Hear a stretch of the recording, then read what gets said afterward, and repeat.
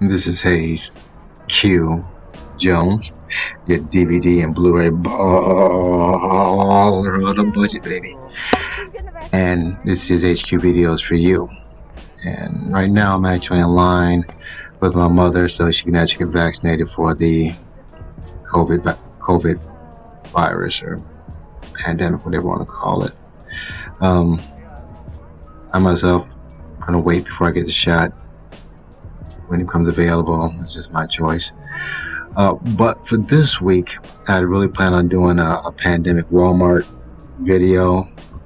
But I don't know if you guys have been to Walmart lately, or, or at least my Walmart video section is almost non-existent. So, kind of twisted up a little bit. It is February. It is Black History Month, and I think I'd be remiss not to do something for Black History Month. So I chose to do some of the most impactful movies, black movies, in my lifetime. And it's not a complete list, it's just the ones that actually kind of stick out or actually have physical copies of. What I mean impactful is it was something different in the movie that touched me either humorously or emotionally or socially. So if you're really not into black films, I'd appreciate if you just kind of stick around and you might find something that you've actually seen or maybe something you didn't even know existed and may, might actually broaden your horizon. So sit back, relax, have a drink, have a smoke, and I'll catch you at the other end of this video. And at the very end, I actually have some pickups I got from um, eBay and Amazon, some nice 3D uh, rare pickups. So again, sit back, relax, and I'll catch you on the other end.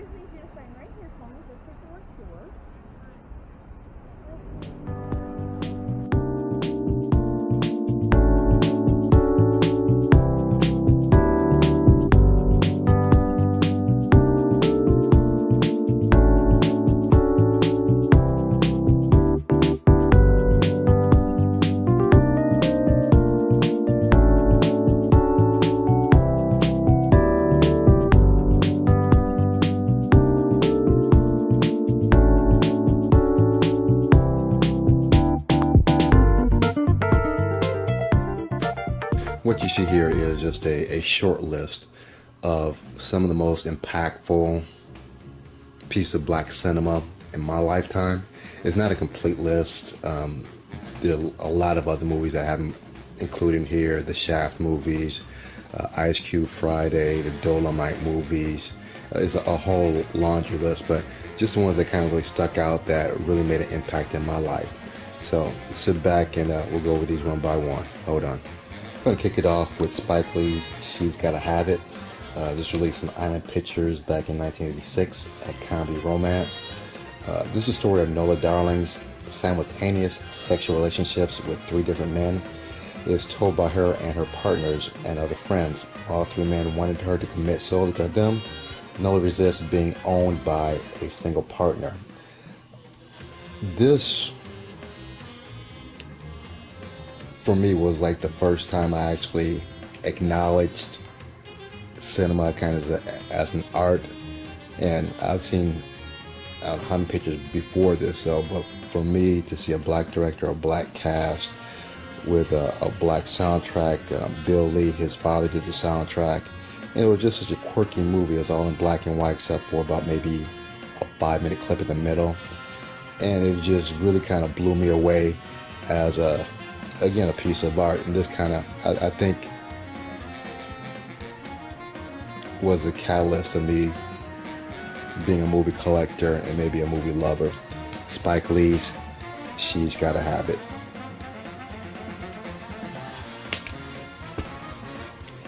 Cosmic Slop.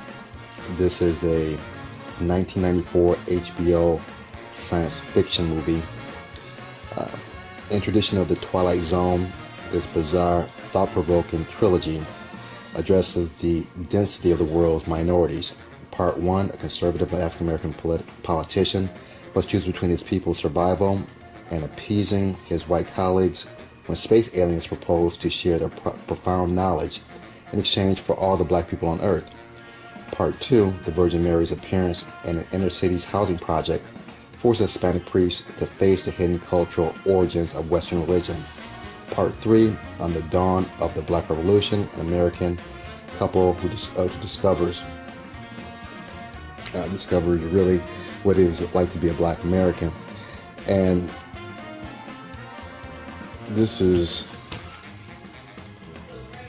a, it was hosted by George Clinton, who was, if you know who George Clinton is, he is an icon in music, uh, founder of the Parliament Funkadelics. He's hosted this. It's kind of a a Twilight Zone type picture, but just the subject matter was so different. I've never seen anything like this to date. I don't even know if you can get this on DVD. You maybe get this on VHS and Laserdisc. So, Cosmic Slop, if you get the opportunity, uh, take a look at it. You, you, it's very interesting. I'll, I'll leave it at that. Cosmic Slop. Richard Pryor live in concert. This is an MPI 1979 comedy documentary. Uh, Richard Pryor delivers monologues on race, sex, family, and his favorite target, himself, live at the Terrace Theater in Long Beach, California. And this is important, I believe. I, I probably started listening to Richard Pryor was maybe, I don't know, 12, 13. My homeboy and I used to go to his mom's room and listen to her comedy albums. Uh, Richard Pryor, Bill Cosby, Moms Mabley, um, uh, Pig Feet, and, and that kind of gave me a foundation uh, of comedy. And to this day, I think Richard Pryor, Redd Foxx, George Carlin are probably the benchmarks of what I say comedians by. And they're the ones that influence the ones I like today, such as Katt Williams and um, Dave Chappelle. So Richard Pryor live in concert embodies the pinnacle of stand-up comedy, in my opinion. Richard Pryor live in concert. We have Boomerang, 1992 Paramount Pictures, a comedy romance. Marcus is a successful advertising executive who woos and beds women almost at will. After a company merger, he finds that his new boss, the ravishing Jacqueline, is treating him exactly the same way. Completely traumatized by it, by this, his work goes badly downhill. Uh, for me, this is probably one of the first movies I ever saw where they had a black leading character who was articulate, who was a professional, who was suave, that wasn't a pimp or a, a cop, or it was just a, a working professional. And I think at one time I probably wanted to be Marcus Graham, just that fly with all the fly ladies around me and just, you know, just be that cool guy. So Eddie Murphy's Boomerang is just an, an excellent, excellent film, fantastic cast. You have Eartha Kitt, um, David Alan Grier, um, um, I'm looking at right now. Grace Jones is just a fabulous cast, hilarious movie, one of the best comedy romances of all time. Eddie Murphy's Boomerang. Menace to Society. This is a New Line home entertainment release back in 1993. Uh, sobering and incisive, this cautionary drama centers on a street tough 18 year old facing a moral quandary while trying to turn his life around. And this is the Hughes brothers. Make sure it's not. I always the Hughes brothers and the Hudlin brothers mixed up. The Hughes brothers. To me, this is like one of their greatest masterpieces. Um, fantastic cast. You have Jada Pinkett Smith. You have um, Tate. Um, I always forget this guy's name here. Um, that he's actually Kane. Who is Kane? Tyrin Turner. For some reason, his career just never really took off, though. Just a, a real gritty,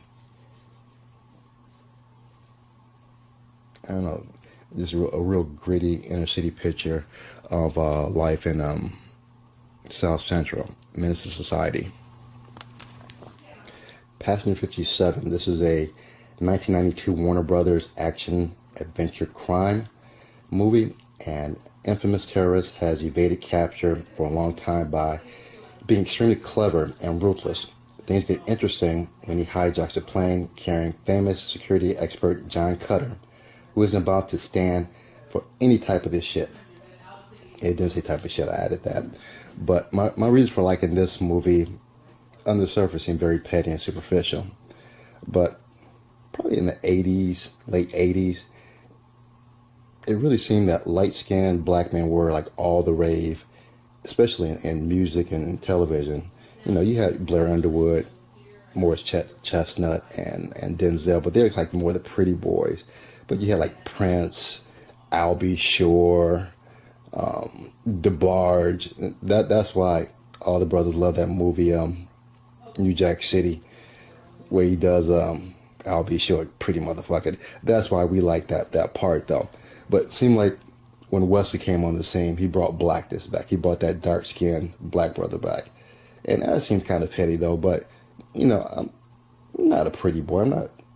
Uh, what, what what's the movie? Um, I'm not a pretty man, but you know, I'm not ugly either though. Wesley brought that that ruggedness back to to the cinema. He kind of brought that shaftness back, and that's why I like shaftness. That's kind of a word though. But he he brought that that masculinity back to black cinema for me. And that's why Passenger 57, that's why I'm so passionate about that movie. We have another Paramount Pictures 1989 comedy crime drama romance, Harlem Nights. Ray is the owner of an illegal casino and must contend with the pressures of vicious gangsters and corrupt police who want to see him go out of business. In the world of organized crime and police corruption in the 1920s, any dastardly trick is fair. And this movie for me was just so classy, and, and the wardrobe, the the lineup.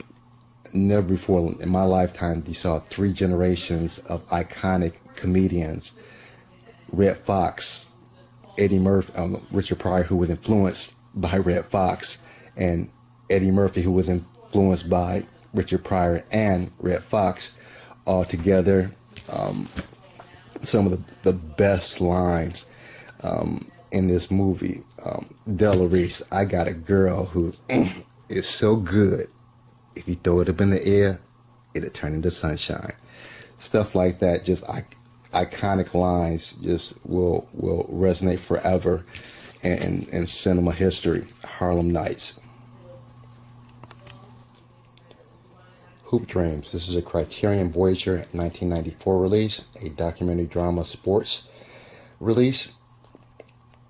Everyday School Day African American teenagers William Gates and Arthur Agee travel 90 minutes each way from inner city Chicago to St. Joseph High School in Westchester, Illinois, a predominantly white suburban school well known for the excellence of its basketball program. Gates and Agee dream of NBA stardom and win the support of their close knit families. They battle their social and physical obstacles that stand in their way. This acclaimed documentary was shot over the course of five years. Um, first time I saw this, I think I just saw it on Laserdisc. And it is, in some parts, it's just heart wrenching because you have these they're kids, they're teenagers, but essentially they're kids putting their whole life into all their hopes and aspirations to one thing, basketball. And just go it goes over five years, and it, I'm not gonna give uh, the plot away if you haven't seen it. So, but it just it tells you what happens, and it shows you the interactions of their family and their influences. And when you look at some of the professional athletes today, and you wonder why they do some of the things they do, this might give you some insight to that. Hoop Dreams. Fantastic documentary. Probably one of the best, best documentaries I've ever seen in my life. Hoop Dreams. Boys in the Hood. A Columbia TriStar 1991 action crime drama. Boys in the Hood is a popular and successful film and social criticism from John Singleton about the conditions in South Central Los Angeles, where teenagers are involved in gunfights and drug dealing on a daily basis. And if you can actually read the title, you can just, off the rip, just see us loaded with talent from Cuba Gooding Jr., Morris Chestnut, Chestnut uh, the beautiful Nia Long, and Angela Bassett and Larry Fishburne. This is probably, well, I really noticed Larry Fishburne the first time in a movie called School Daze by Spike Lee, but he really kind of shined as Furious Styles with a name like Furious Styles. You got to be a bad motherfucker to just to, to carry off that name. Uh, that's where he really stood out for me. And Ice Cube also as a serious actor. Uh, before this, uh, I'm not sure this is before Friday or, or after Friday. I don't know off the hand, but this is kind of his first serious role, and I, I think he put it off, uh, did did a, a, decent job. But from the soundtrack to the acting, just to the, the directing, uh, God rest rest in peace, John Singleton. Uh, one of the most impactful movies of my life, Boys in the Hood. Deep Cover. This is a New Line Home Entertainment 1992 action crime mystery thriller the black policeman Russell Stevens applies for a special anti-drug squad which targets the highest boss of cocaine delivery to LA, the Colombian foreign minister's nephew.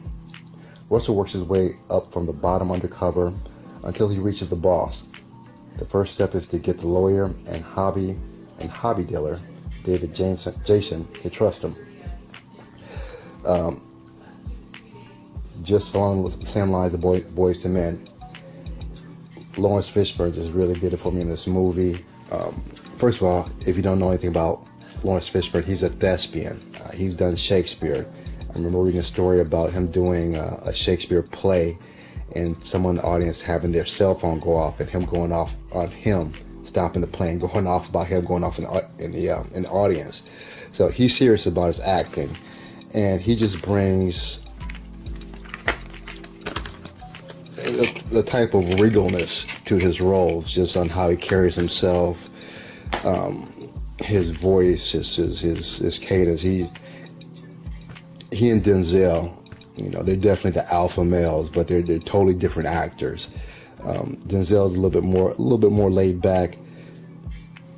Lawrence is a little bit more intense, and, and that's what I like about him. He's different, and if you've seen this movie, you know that that one scene where the white detective is interviewing all these black um, black um, potential undercover agents, and he asks them that question, and just how smooth he delivers that answer is is one of the pinnacles or one of the high points of that movie. Deep Cover, Blade, a 1989 Amen Ra Films action horror science release. When Blade's mother was bitten by a vampire during pregnancy, she didn't know she didn't know that she gave her son a special gift while dying. All the good vampires' attributes in combination with the best human skills. Blade and his mentor battle an evil vampire rebel who plans to take the outdated vampire council, capture Blade, and resurrect a voracious blood god. This Marvel release in my opinion, changed the look of, of superheroes. Prior to Blade, and I was actually did a little research before I, before I did this. I looked at the Batman releases, the Michael Keaton, um, George Clooney, uh, the Christopher Reeve releases, and prior to this, they all kind of had the tights, the the the classic 70s kind of superhero. Blade kind of brought them into the 20th, 21st century with the kind of armored combat look, with the the, the vibration and, the bass when in his movements. To me, the Avengers, Marvels, DC look kind of started from Blade, and actually, he's not the first black superhero. I looked that up too. There are quite a few before him. You had Shaquille O'Neal in Steel, which eh, was an okay movie. You had Michael Jai White, Michael Jai White in Spawn. You actually had Robert Townsend in Meteor Man. And I think there were a couple other ones also. But the ones that I think that was just the funkiest, that just the coolest, one of the best opening scenes of all times to me. I'll put this up there with Indiana Jones as far as opening scenes you got to give to Wesley Snipes and Blade. Black Panther, a 2018 Marvel Studios action adventure science fiction release. King T'Challa returns home from America to be the reclusive, technology advanced African nation of Wakanda to serve as the country's new leader. However, T'Challa soon finds he is challenged for, for the throne by factions within his own country as well as without. Using powers reserved to Wakanda's kings, T'Challa assumes the Black Panther uh, mantle to join his girlfriend Nakia, the Queen Mother, his Princess Kid sister, members of the Dora, and I'm going to kill this last name, Milaje, the Wakandan Special Forces, and an American secret agent to prevent Wakanda from being dragged into a world war. World war. And for me, being a, a middle-aged man, having a a kid, this is a big deal. And I'm not gonna get into all the social aspects of it. Just to have your kid to go to the movie, see a major million dollar motion picture, and see the hero look like him is a big deal. And if, if that's not a big deal, you probably just, don't understand. A fantastic masterpiece of a film. Uh, rest in peace, Chadwick Boseman. Um, just the lineup, everything about this movie um, was fantastic. Even the villain, much like in uh, The Man of Steel.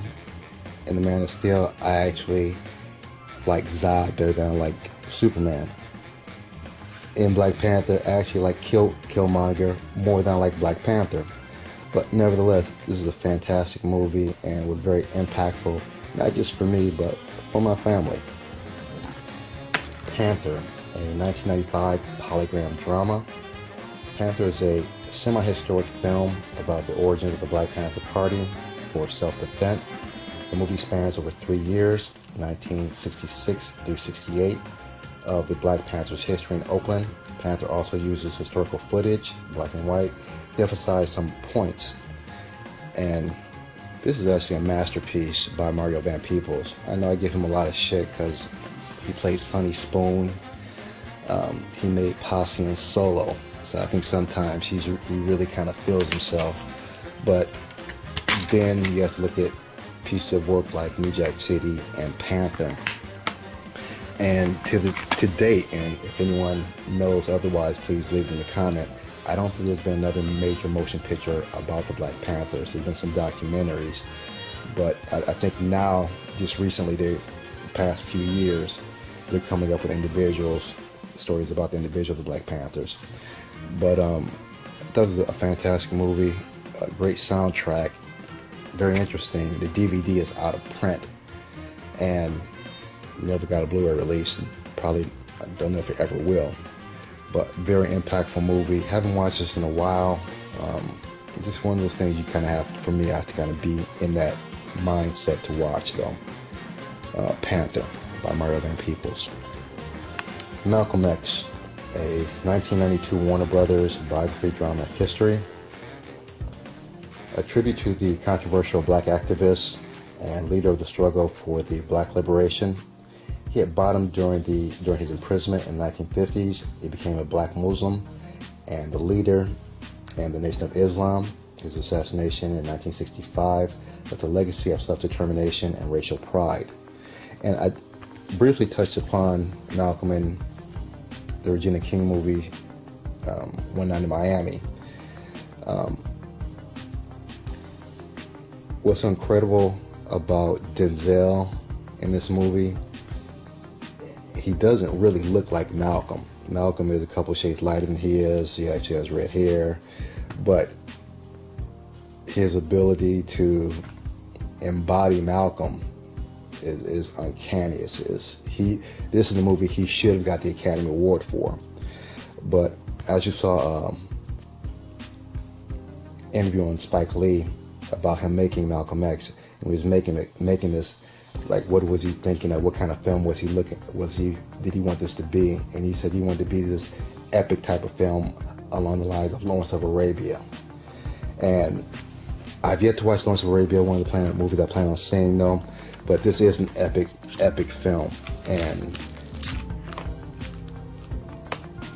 is this if you've seen and heard Malcolm X and watched this, you will swear Denzel is Malcolm X. Just a powerful story, and just one of those one of those movies. After you see it, just it just really makes you think um, about what's going on in the times, and specifically what's going on uh, with Black Americans then and now. Malcolm X. And to run off the list, and yes, I know I'm cheating a little bit. This is not a movie per se; it's a television miniseries, but this, without a doubt, had the most impact on me more than anything else. Uh, this is Roots, the 1978 Warner Brothers drama history war release television miniseries, a saga of African American life based on Alex Haley's famous his family history. Kunta Kinte is abducted from his Afri- African village, sold into slavery, and taken to America Throughout the series, the family observed notable events in the U.S. history, such as the Revolutionary War and Civil Wars, slave uprisings, and emancipation. And in my opinion, if you're an American citizen, if you're an immigrant trying to become an American citizen, this should be required watching for everyone. Um, throughout my life, I was forced to listen to other history that I wasn't necessarily wanted to hear, but I sat through it and I actually learned something, and it was actually interesting. And in order to understand a group, an individual, I think to a certain understanding, you have to know where they're coming from or know a little bit about their history. And if you sat through all this and you're not a a fan of, of black movies, thank you very much. I appreciate that because for so many years I was forced to listen to history I didn't want to. You did this on your own will. So from the bottom of my heart, thank you so much for, for sitting through this and listening to this. So without further ado, let's get to some of the movies I picked up. Hold on. We are back at the Black Cave, and I just have a collection of things that I purchased either off of eBay or Amazon. Um, as much as I love getting deals at Dollar Tree and the pawn shop, some stuff you just very unlikely, more than likely, you're not going to find there. So I do kind of surf the net, Amazon and eBay, trying to find the best deals and it's mostly 3D 3D stuff, like rare 3D stuff. So let me get these scanned in, and I'll go over these in just a minute. Okay, everything's scanned in into my CLZ Movies app, and then C is in Charlie, L is in Lima, Z is in Zebra, and just 12 titles. So uh, let's get into it. The first one is an Asylum release, a haunting in Salem based on true events in 3D, and most of these are going to be 3D. I'm finding out as time progresses, a lot of these are going out of print, and I, I really don't know if they're going to be making these anymore since there seems to be somewhat of a decline. Well, I know they stopped making 3D televisions and 3D um, uh, Blu-ray players, but We're going to start with an Asylum release, A Haunting in Salem, based on true events in 3D.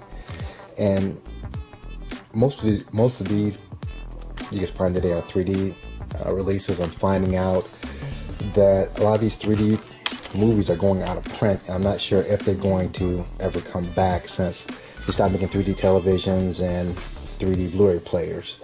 Uh, a lot of the projectors I'm finding out are 3D 3D ready or 3D uh, accessible. So I'm hoping that you know 3D movies will keep coming out. If not, I already have them, so I'm covered. But this is a Salem in a haunting in Salem in 3D, and if you see that, that is an Asylum release. Where you see the Asylum logo right there. Next one is Enchanted Kingdom in 3D and this is narrated by Idris Elba. I love my BBC nature films. They're usually they're filmed very well, just as far as the color and just the overall look of it in 3D. They're even better. So, looking forward to watching this Enchanted Kingdom. Next, we have one I've seen online for years, and again, I'm just starting to pick them up because this can go anywhere from I think like seven bucks up to like 50 bucks. And when they're gone, I'm sure they're going to be gone. So I decided to get it at a reasonable price. Cave of a Cave of Forgotten Dreams, and I think this is um, kind of a documentary, either on coal miners or cave dwellers, something something of that nature. Cave of Dreams. Release this. Sundance Select, an IFC release, I believe. I'm not sure. If you know, leave leave a note in the comment section, please. And this is Chinese Connection, um, Chinese Zodiac, Armor of God. And it's weird how they name some of these Jackie Chan movies because some actually have two or three titles. Um, Armor of God or Chinese Zodiac, and I think it might be called something else. But this also, I saw all over the place as far as pricing, but I think I was able to get to like for 10 for 15 bucks, but it took I think like a month and a half to get here. I still have a couple more that I ordered back in December that still haven't gotten here yet. Jackie Chan, Chinese Zodiac, Armor of God 3. Next one is not a 3D, but it's actually a Blu-ray. And to complete the Aladdin trilogy, at least as far as the cartoons are concerned, Aladdin, Aladdin, King of Thieves, and uh, The Return of Jafar. And got this at a great price at Amazon.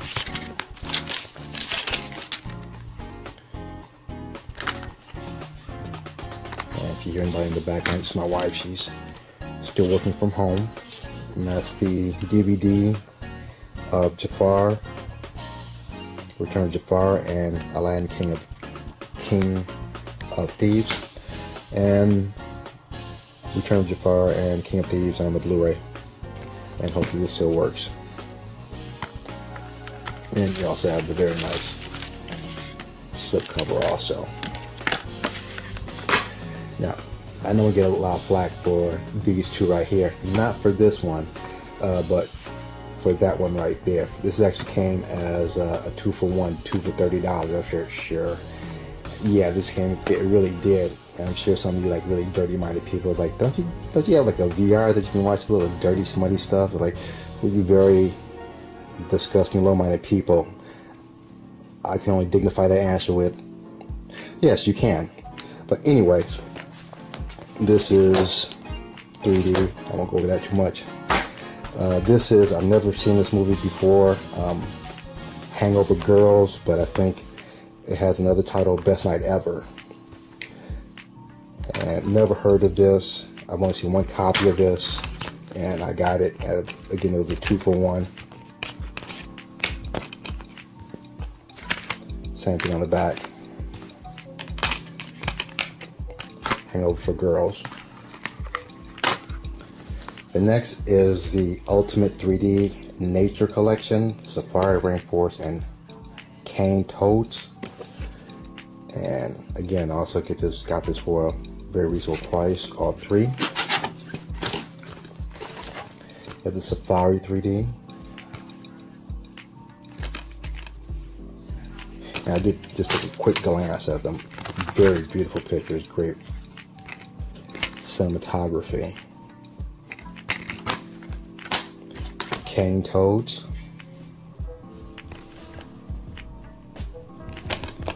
And this is a, a foreign company, Kaleidoscope, so I'm really not familiar with the company or the distribution. And we have Rainforest 3D.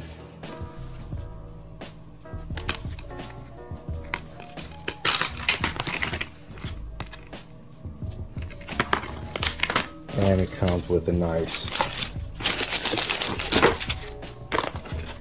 Nice little box cover right there that can fold up. Next, we have a shout release. And I know this on Hamilton is like $15. I think I to get it a little bit less than that on eBay. Uh, Angela Bassett, the beautiful, gorgeous Angela Bassett, and James Spader, and Supernova, a sci-fi thriller. And this is a spring release. I believe this is out of print or going out of print, something to that effect. And to cap it off for Black History Month, you have the Cornerstone and the Black Exploitation Films, Superfly. If you want to get a start on, if you're unfamiliar with Blaxploitation Films, this is probably a great place to start. Superfly or Shaft, that's what I would recommend. But this is just uh, pretty much on eBay, Amazon collection over the past three or four months. Stuff's taking a long time to get in. But you know the drill. Let me put this stuff where it belongs. And I'll let you guys get where you have to go. Hold on. Okay, I have everything laid out, ready to go back in its proper place. As usual, I appreciate you guys hanging out with me. If you haven't subscribed yet, what are you waiting for? Ring the bell so you get a notification every week. Hit the subscribe button, doesn't hurt, and you'll help me reach my goal of 1,000 subscribers. Uh, share with your uh, anyone who's interested in movies, uh, interested in collecting movies. If nothing else, give me the big thumbs up.